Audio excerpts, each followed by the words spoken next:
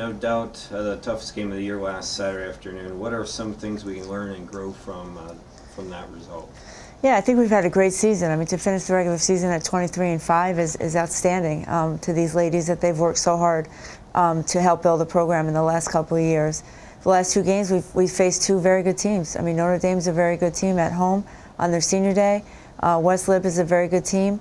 Um, I think what we've learned is that we got to follow our game plan. Um, people are pressing a little bit too hard right now.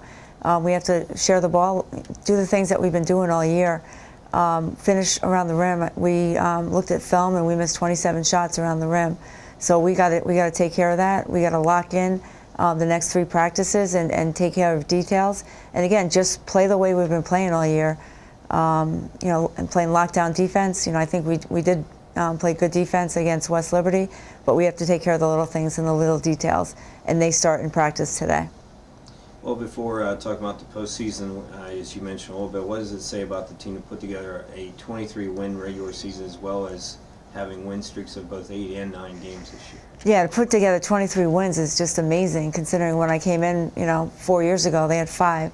So, you know, we've gotten the right right team in, we've gotten the, the right players in, the right staff in. So it's just a credit to to everyone involved in our in our basketball family. Well, heading to the MEC tournament now, how nice is it to go straight to Charleston as one of the top four seeds, and does it help you work, uh, have extra time to work more on areas you need to? Yeah, um, you know, I think getting a bye is something that last year we got a bye as well. So again, it's just it shows how much the growth of the program, um, you know, has endured over the last couple years.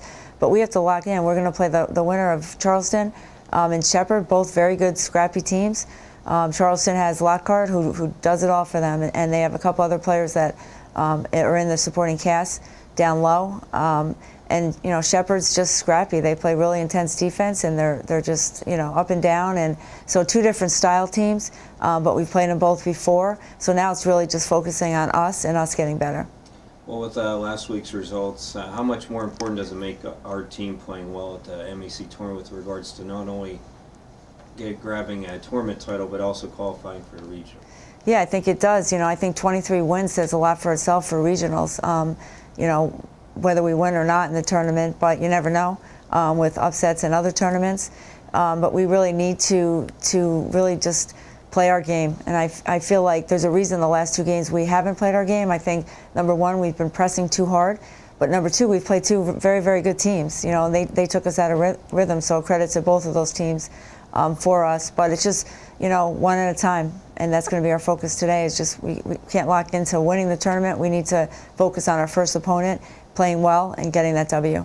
Well, lastly, as you mentioned, you faced the winner of Shepherd and Charleston actually in the opening game of the whole tournament Thursday at noon. Uh, do you wait for that game to take place on Tuesday uh, to prepare more for Thursday, or do you have a do, or do you have uh, plans set already for both teams? Yeah, we have plans for both teams, but right now, um, today we're focusing just on us um, getting better. Um, and then we, you know, we have scouts already from both teams, but we'll look at film of that game.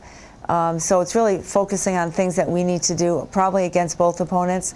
Uh, but we'll focus more on whoever we're playing, obviously, after that game um, happens.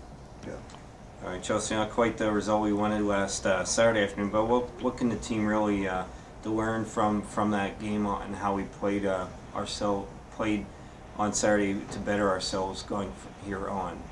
Um, well, the way we try to look at every loss is a learning experience, so that in reality, it's not really a loss if you learn something from it. So of course we wanted that one. We definitely wanted it bad. West is our rivals, but um, we definitely know what we have to do to prepare for Thursday's game. and right now we're just looking for one game at a time, doing the little things, making corrections, and a couple of those um, mean finishing at the rim, making our free throws, and just sharing the basketball. Well, you played uh, well yourself on Saturday. Do you feel that your role is to give up that type of uh, solid play and energy off the off the bench when you get get into the games like that?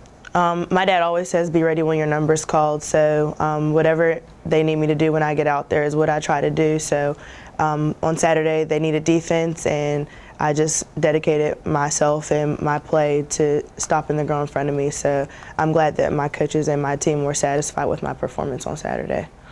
Right, before talking about uh, this week, uh, how nice is it to be part of the program's first uh, first 20 win season, most successful season really in, in quite some time. Oh, it's great. Um, it's um, it's an accomplishment for us, and we should be proud of it. It's definitely um, a check mark off our list of things that we set out to do this season.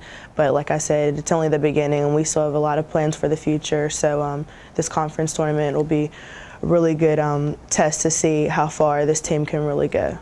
How does it help uh, for for our team to go straight to Charleston, having that, that buying that time off, time off and extra practice time this week? It's more of a relief knowing that that stress of a playing game isn't there anymore. Um, to be number two is an accomplishment in itself, and um, we've earned it.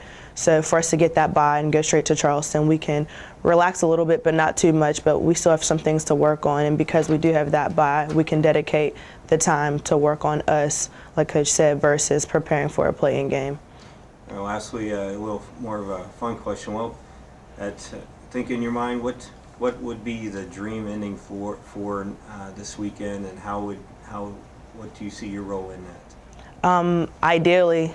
Um, we want to win a conference title. Um, and that's what we're going to set out to do. So anything less than that is um, us falling short. So we want to win this conference title and get ready for regionals. We've never been there before, and so for us to actually have a berth in um, the NCAA tournament is definitely a great, a big deal, and we definitely want to um, take advantage of the moment.